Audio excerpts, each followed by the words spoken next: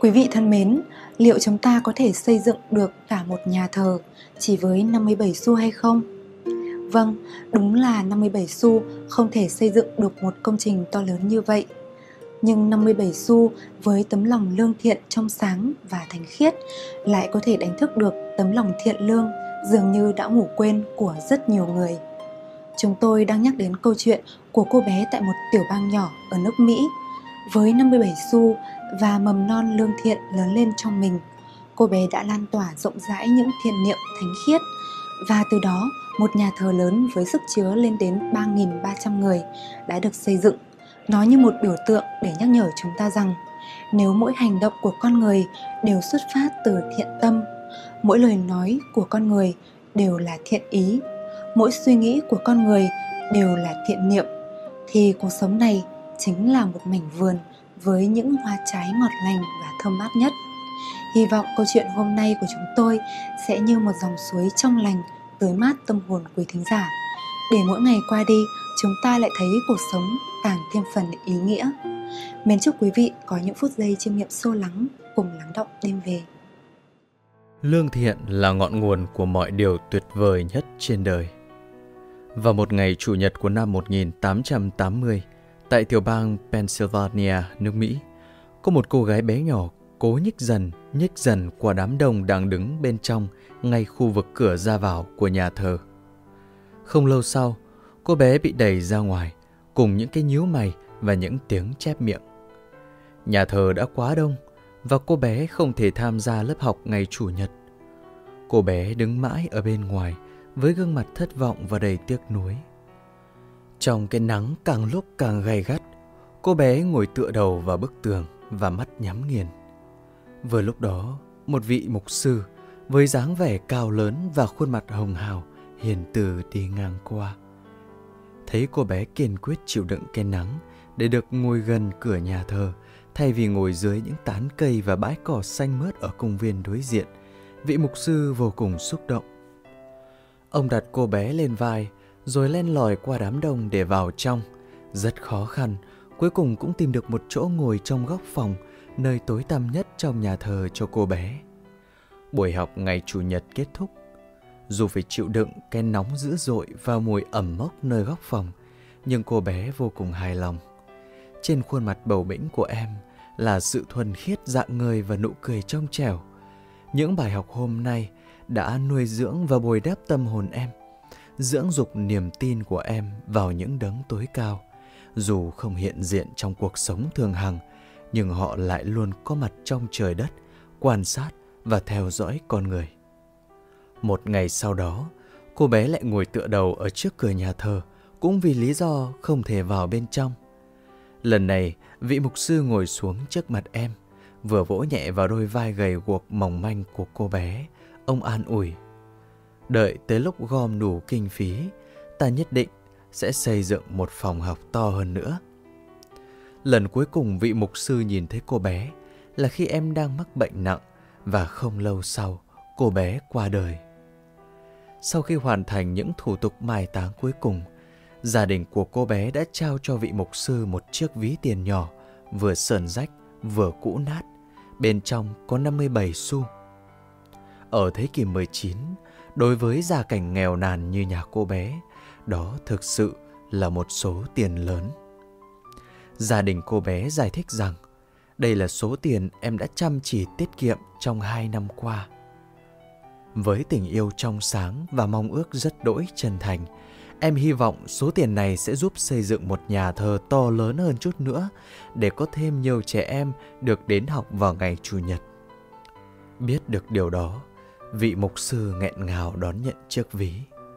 Ý định xây dựng nhà thờ to lớn của ông chỉ vừa mới bắt đầu được một vài ngày, khi ông thấy cô bé đang héo hon ngồi chịu đựng cái nắng gay gắt ở bên ngoài. Nhưng cô bé đã nhen nhóm ý tưởng này và bắt tay vào thực hiện từ hai năm trước đó.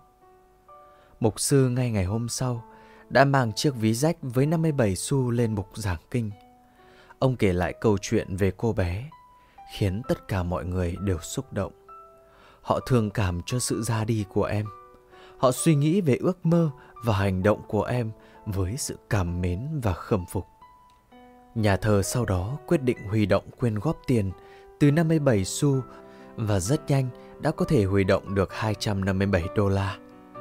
Một vài năm sau, 57 xu của cô bé đã huy động được đến 30.000 đô.